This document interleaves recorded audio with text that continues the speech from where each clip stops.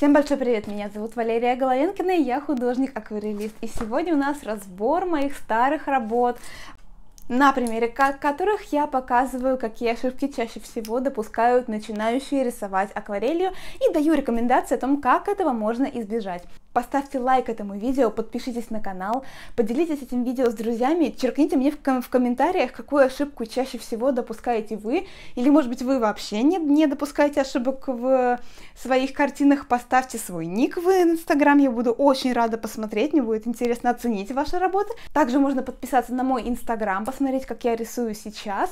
Ну а мы пойдемте к моему столу, я буду показывать и рассказывать. Погнали, давайте мы будем разбирать одну, вторую, третью по очереди. Итак, первая работа. Если спросить меня, что в ней плохого, то я скажу, наверное, все. Подпишитесь на канал, поставьте лайк. Всем пока. Но нет. А, во-первых, здесь очень непонятная линия горизонта и ракурс, с которого мы смотрим на предмет. То есть у нас есть линия горизонта, да, мы ее вот так вот можем себе обозначить ровненько. По идее, ну, она должна быть где-то вот, ну, вот тут вот, да, раз туда ухо- уходят рельсы. Угу, отлично. Но при этом почему-то uh, забор у нас пошел вверх. Это очень странно. Такого быть не должно. Это uh, ошибка, которая ломает восприятие работы, а, адекватное восприятие. И провода, да, да, то есть они как бы практически на одной линии. Они не снизу вверх, не сверху вниз, они просто э, по одной линии завернулись кружоч, кружочком и все. Трамвай решил упасть. Трамвай немножечко под наклоном, под таким нехилым, я бы даже сказала, на, на наклоном. И почему-то мы смотрим на него сверху, когда на забор мы явно смотрим снизу. Та же самая история с домами. Здесь вроде бы дом очень большой, непропорционально большой трамваю, непропорционально большой забору и второму дому что тоже неправильно. Также меня смущают э, прорисовка, меня смущает окошек, потому что здесь очень условно, здесь, здесь очень подробно, здесь вообще нет прорисовки, очень странная форма дома, огромные деревья, абсолютно неадекватный забор, рельсы, которые вообще пошли вверх, как бы там ландшафт не предполагает такому э, буйному движению. Как нужно сделать, чтобы было нормально? Во-первых, мы определяемся с композицией и э, местом максимальной детализации в своей работе, линией горизонта и ракурсом, с которого мы будем на эту работу смотреть. Вот предположим, что это наша работа. Я ее вот так вот отчерчу, отчерчу лист и пойму, что линия горизонта у меня будет, ну, примерно посередине, да, условно. Здесь у нас перспектива будет с одной то, точкой схода, вот сюда будет у меня стремиться, будут стремиться трамвайные пути. Предположим, что они пойдут вот так, ну ладно, не суть, да? Тут на самом деле должна быть еще вторая то, точка схода, но это мало кого волнует. Давайте пока так. Они уходят за угол, условно, да, вот так вот. Ушли за угол. Заборчик тоже пошел за угол, но он под наклоном вот туда, а не вверх, потому что мы смотрим, и предметы от нас немножечко удаляются, потому что линия горизонта у нас посерединке. Если линия горизонта сильно снизу, то мы как бы смотрим Uh, упав на, на землю и немножко приподняв голову. Если линия горизонта сильно сверху, мы как бы возвышаемся над картиной и можем видеть uh, немножко больше верхних частей нашего изображения. Далее трамвай и домики, собственно. Значит, uh, домики тоже будут стремиться вот туда, вот в, то, в, то, в точку схода. Ну, тут не обязательно, но примерно вот так вот, да, будут идти трамвайные пути, домики. Во-первых, у домиков есть толщина. Домик это не просто картонная ширма, если мы не говорим о потемкинских деревнях, конечно же. Один домик, то есть они все будут стремиться, если по ним провести линию, они все будут стремиться в точку схода. Второй домик. Они могут быть разные по высоте, у них могут быть как, как, какие-то разные надстройки, скажем, да, там шпили, башенки, но все равно направление будет задано в одну сторону. Деревья тоже. Деревья адекватны домикам.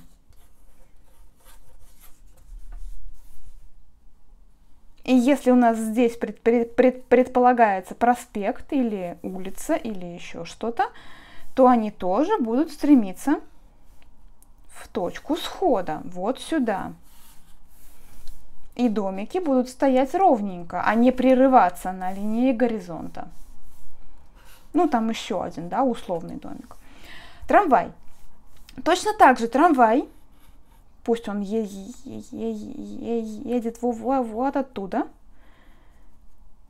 смотрит на нас, у него есть вот, вот эта вот передняя часть, кабина, кр кр кр крышу мы не видим, э это важно. Ну, условный там как, как какой-то этот э электроприемник, скажем так, окоха. И здесь еще парочка окох. Окохи тоже стремятся в, то, в точку схода, потому что объект стремится в точку схода. Провода у нас идут спереди, сверху, делают круг и уходят тоже в точку схода. На самом деле провода это классная история для какого-то разнообразия своей работы. Очень их э, здорово добавлять в городских пейзажах они очень оживляют. Условно, да, вот так вот будет за, забор. А, что делать с детализацией? Нужно понять, что мы хотим рассказать в этой картине. Если это история про заборчик и домики, то мы, мы прорисовываем заборчик и домики. Если это история про трамвай в городской среде, то мы делаем акцент на одну часть работы.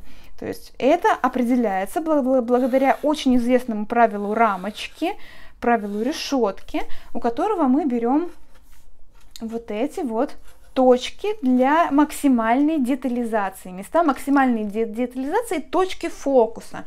Мы выбираем одну или две из них, скажем вот так, вот две можно взять, ну и немножечко распространиться влево но совсем чуть-чуть. И только в них сосредоточить все свое внимание, всю свою способность на прорисовку работ, для того, чтобы зритель не сходил с ума.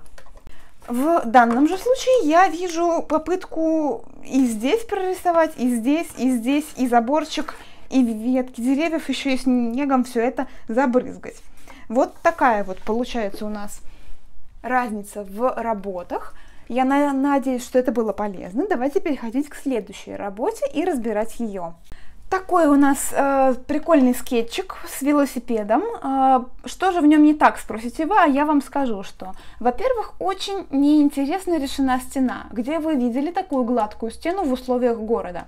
Город это всегда грязь, пыль, разводы, э, какие-то вкрапления других цветов, это четкая прорисовка кирпичиков, это какие-то акварельные эффекты, это можно сделать брызгами, это можно сделать вкраплениями другой краски. Это, это, э, это делается неоднородной заливкой, вот примерно так же, как сделано внутренность этих витрин примерно так же можно было бы ну, в одной цвет, цвет, цвет, цветовой гамме плюс-минус сделать и стены. То, то, то, то же самое касается вот этой вставки и нижней части. И тротуара, кстати, тоже. Не очень понятная история с тем, где стоит велосипед. Это красная линия, а, которая обозначает то место, за которое заезжать нельзя, да, такая сплошная, эдакая. А, вопросики, вопросики вот к этой конструкции. У нее есть вообще какие-то какой-то свет, может быть, какие-то блики, она вообще из чего сделана вопросики к темному свету внутри витрин. Почему он такой темный? Темным у нас свет быть не может. Это либо вкрапление цвета вот такие вот, как здесь сделано, либо это в чистую бумагу, в чистую заливку мы добавляем сначала синий, потом плавно переходим в оранжевый, а, ну, можно через фиолетовый, можно через коричневый, любым способом. И снова переходим в другой цвет. По тону тоже вопросики. Здесь довольно светло, и здесь тоже довольно светло, хотя эта часть находится внутри. а внутренние части всегда находятся в тени, и они темнее. То есть тон вот этих вот мест должен быть более темным, более насыщенным, тогда на их фоне ярче засияет велосипед. Ну и вопросик вот к этому изделию с краю. Э, это понятно, что это какая-то катка с елкой э, или с каким-то кустом. Тоже очень много деталей, очень много внимания. Она прорисована сверху по сухому, что отвлекает от э, центра работы. По краям, пожалуйста, не располагайте четких объектов, нарисованных по сухому. У велосипеда кривые колеса, у велосипеда странное расположение спиц а, странные тени и свет, я бы тоже это переделала, сделала бы их более прорисованными, проработанными, больше внимания обратила бы на сам велосипед – а, на натуре или же на фотографии на референсе и уделила бы больше внимания не внутренностям, которые на фоне, а больше внимания самому велосипеду, поковырялась бы в нем глазками, пос посмотрела бы, э, что в нем, как расположено, где у него свет, где у него тень, и ввела бы это в работу. И последняя на сегодня работа. Э, здесь у меня претензия к тому, что неаккуратно проработаны стыки заливок разного цвета, синий и желтый, мне не, нравится. Отсутствуют тени на окне, то есть окно как, как будто бы вырезано из бумаги, при, приложено сверху. Обязательно в раме тоже есть и тень, и свет, и блик, и все на, на свете. Стекла тоже решены как-то очень странно, в плане того, что они все одинаковые, одинаковые заливки, одинаковые по сухому добавленные сверху кусочки краски, кусочки новых заливок. А, тоже я бы сделала их немножко по-другому, сделала бы больше бликов и поравномернее бы закрасила каждый этот квадратик. А, решила бы, что, что с ним делать порассматривала бы, поизучала бы референс. Можно было бы добавить еще фактуру на стену. То есть понятно, что это как какое-то окно, дом, очевидно, это дерево, потому что есть вот эти вот направляющие э, линии, которые дают нам намек на то, что это балки, может быть, какие-то, или доски, или сайдинг. А, можно было бы это показать при помощи сухой кисти, при помощи эффектов. У меня есть прекрасное видео про эффекты вашими кистями. Обязательно зайдите, пос пос посмотрите. Также я очень много рассказываю на курсе скетчинг и на бесплатных уроках в Ютубе. Просто на курсе есть поддержка, моя личная проверка, поэтому горячо рекомендую. И немножечко вопросов к зелени. Зелень наложена сверху. Зелень э, прозрачная, вот это вот все цветочки, они немножечко просвечивают сквозь них стены. Вопросики имеются к тому, как это выполнено. Я бы сделала плавный переход от синей заливки в желто-зеленый, такой, знаете, еле-еле зеленый самую малость, и потом переходила бы в темный зеленый, добавляла бы по мокрому какие-то пятна в заливку, более темного зеленого густого цвета, и в них уже вкрап, вкрапление цветочков придавало бы им форму. Та же самая история вот здесь. Вот это какие-то дикие куски а, заливок, которыми я обходила другие заливки. Вот такого вот старайтесь не допускать в своих работах, потому что это очень рубит целостность всей работы. Это слишком много внимания притягивает в ненужные места. Это говорит о том, что вы не умеете работать с заливкой. Чтобы работать с заливкой, нужно научиться работать с консистенцией краски. Этому я учу на своих курсах. В, в описании видео есть ссылочка, поэтому добро пожаловать. Но если вы совсем не понимаете, не хотите где-то учиться, попробуйте переводить из самого светлого тона краски в самый темный тон. Из одного цвета в другой цвет. Плавненько-плавненько. Делать такие растяжки. Без стыков вот по такому сухому, по белой бумаге э, обходить одной заливкой другую. Это будет хорошим упражнением, чтобы э, прокачать в себе этот навык.